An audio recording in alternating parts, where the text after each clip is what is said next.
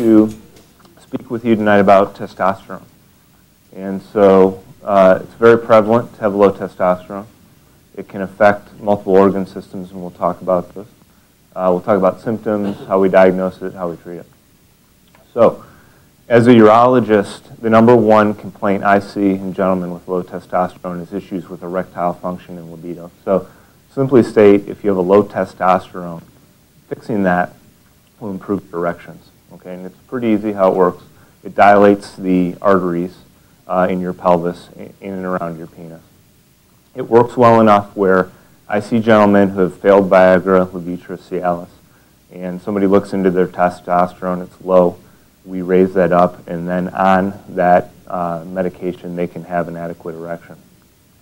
So this is a big myth of testosterone. I hear this driving around in my car, listening to radio ads and seeing ads on TV that this is a miracle drug and it'll fix any problem with your erections. It's not true. If you have organic erectile dysfunction, which means you have damage to those, those vessels that Dr. Grebar just showed because of atherosclerosis, because of hypertension, because of diabetes.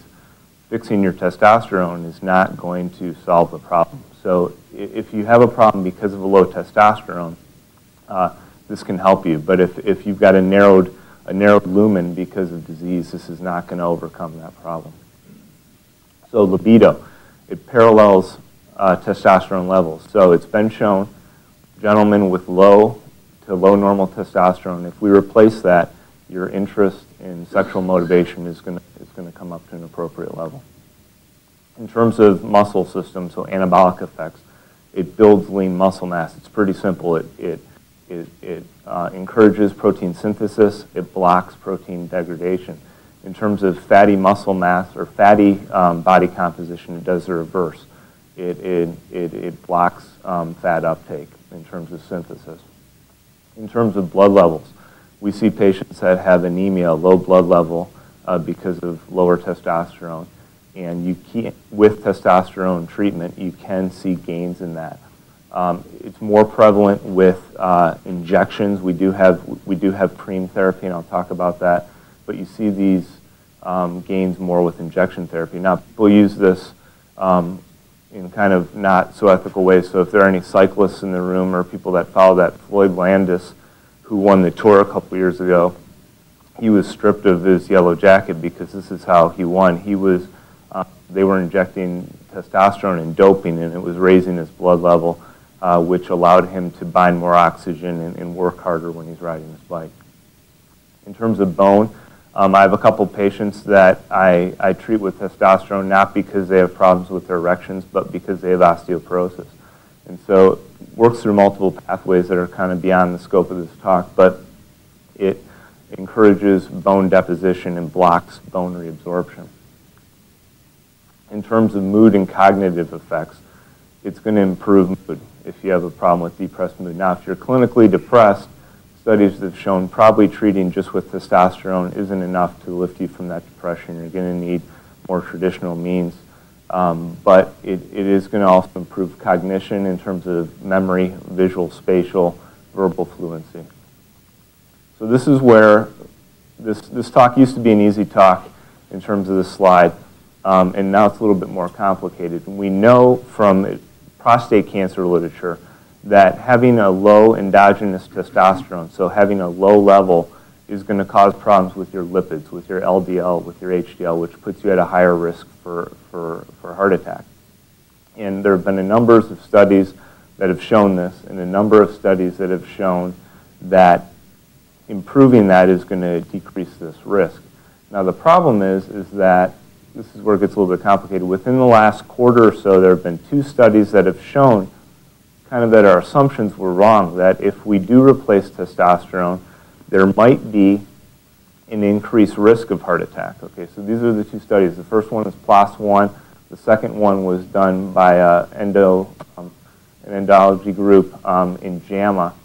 And both of them show the same thing. The JAMA study is a better study. They're both retrospective, but what they both show is that in older patients and in patients with significant cardiovascular risk factors and, and history, there is a slightly increased risk of heart attack on study. Now, the problem with the JAMA study is that they looked at two groups of men. So it was a study where they looked at a couple thousand men that had had coronary caths through the VA, and then they looked going forward, group that wasn't on testosterone, a group that was on testosterone, and they compared what happened. The issue with the study was that 25% of the men in the treatment group only got one dose of testosterone. Okay, so they're, then they're making inferences about their heart attack risk at one, two, three years in gentlemen who only got one dose of testosterone, that the half-life is, is approximately two weeks. So the point is that this risk might be real, but we need better studies. Luckily, um, there's, a, there's a randomized control trial, which if you talk to people about studies, is the study that's the best type of study. And that's accruing now, and that's hopefully going to answer a lot of these questions. But this is now when I see patients that have a risk um, factor of coronary disease or that are older, we, we, need to talk about this and, and see if, if treatment um, is going to be beneficial when you balance it versus their risk of this potentially. In terms of prostate cancer, um, there's no evidence that, that treating with testosterone is going to cause prostate cancer or cause an indolent uh, cancer to, to, to take off. With that said, if, if, if I start patients on treatment, we do rule out any active disease. We do that with a rectal exam and with a, with a blood test. I'm going to skip that one. So that's kind of how it affects organ systems, but patients don't present to us with talking about organ systems. They present with, with symptoms. So what are the symptoms? Diminished energy, depressed mood, decreased libido, problems with erections, um, changes in body composition, problems with strength. I didn't really talk about it, but they can have problems with, with sugar metabolism, with diabetes, if, if the testosterone is low as well. So again, this is a common thing. Starting at age 30, you start to have decreased production. And by the age of 40, 40% of men, by definition, have uh, a deficiency in testosterone. Now, that doesn't mean that I want Dr. Myers to go out and find all these guys and screen and treat them because if they're not symptomatic, we shouldn't be treating them because of the risks, whether, whether how, how significant they are or not. Only 6% of those gentlemen are actually going to be symptomatic. And those are the guys we want to find and, and potentially treat. So, what are the goals of treatment? Basically, re reversing those symptoms. So, improving libido, improving erectile function, increasing body composition. When can't we treat you? If you've got active prostate or breast cancer, men can have breast cancer, it's pretty rare if your red blood cell count is, is too high, those are absolute risks. Those are no-goes. I can't treat you. Relative risk. If you have a strong family history of cardiovascular disease or you have a personal history, we need to talk about those studies. If you have difficulty with sleep apnea, a lot of the theories in these cardiovascular studies is that it, it, the, risk is caused by a worsening of sleep apnea, so that has to be worked out. If you have a history of CHF. So this is the workup. This is what I think of when I'm, when I'm trying to work patients up. And this is pretty simple, but it needs to be done correctly or it's, or it's invalid. So we start um, up here. Patients their doctors and they're complaining of symptoms, and it's our job to say, well, maybe this is low testosterone. So we measure a, a lab test. And this is the key step. It needs to be done in the morning. There are, the, the testosterone goes up and down during the day, and it needs to be done in the morning or it's not valid. If it's above 300, that's normal. Even if it's 301, that's normal. And you got to look at other causes. And that's the problem with the symptoms is that they're pretty nonspecific, which means that those can be because of low testosterone. They can also be because you don't sleep well, you don't eat well, you don't exercise, you've got other medical problems, you've got anxiety or stress at work or home. So we need to look for those other causes. If it's less than 300, then we're going to repeat the test because we know 30% of this these tests are spuriously low and, and not, not correct. So we're going to repeat. And again, if it's over 300 on that second, we got to look for other reasons. If it's low, then we've got our diagnosis and we can talk about treatment. Now there's a few extra steps in here in terms of we look for the cause. So the, the way testosterone production works is there's this area in your brain that makes a signal that sends a signal to a second area of your brain, which then sends a signal to your testicles. And we have a way through a simple lab test of figuring out is it, a, is it an error with, with brain messaging or is it an area of difficulty with the, with the testicle actually producing the testosterone. So we'll look for that when we talk about treatment. So if we are going to treat, we have to look at a few things. We, we establish there's no active prostate cancer. We look at blood levels. We look at testosterone. And then we look at response to therapy once we get going, and we monitor these things on an annual basis. So how do, if, if people want to have this replaced, how, how do we replace it? Um, I'm going to go through some of these. Oral preparations aren't FDA approved. So if you hear TV ads um, for pills, don't get those because they're not going to work and they're not great for your liver. We can do injections, patches, gels. Buccal discs are FDA approved. I don't have any patients on these currently. Um, they cause a lot of irritation and, and patients don't like them, so we don't use those a lot. Then we can do a procedure in the office with, uh, with subcutaneous pellets as well placed under the skin. So injections, um, these are the two different preparations. We mainly use the first. They work well. Okay, the medicine is cheap. Um, the problem is it's not physiologic. So I think I got this from the physics textbook. This isn't actually um, what occurs in your body, but it's close. What, what we want is, is a nice normal level, and that's what your body does when it's working well. The problem with the injections is you, you start down here at a low level, you give an injection, you go way up, you feel like Superman, and then a week later it comes back down, and that's not how your body works. So that's an issue. We also see um, a problem with when there's too many red blood cells made, um, which can cause stroke or heart attack potentially. You see it with injections, not the other sources. The other issue is you got to come in and see your doctor every two weeks, and there's some time and expense with that. So um, this is an option, but it's, it's probably not our first line option. Patches. This is the medicine that, that started this. Um, it's not on the market anymore. Um, there's a big problem with adherence to the scrotum and irritation. Um, there are uh, non-scrotal patches available. I, I, don't think I have any patients, maybe one on, on these currently.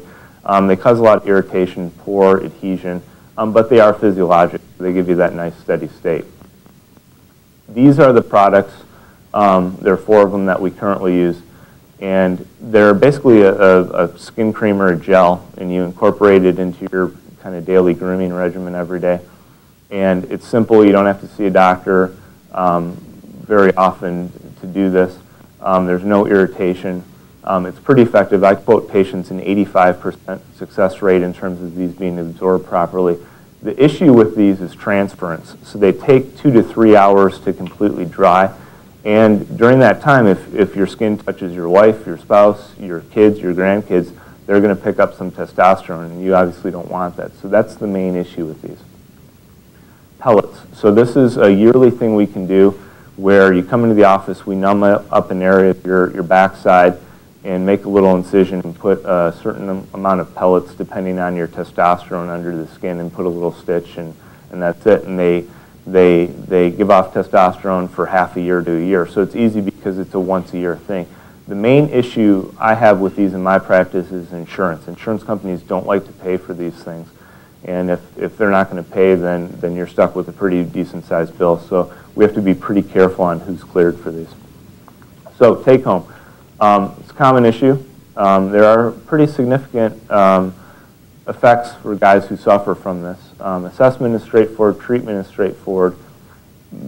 The risks are acceptable. We have to be very care careful with the cardiovascular risks. Those are going to be better worked out in the future. Um, questions?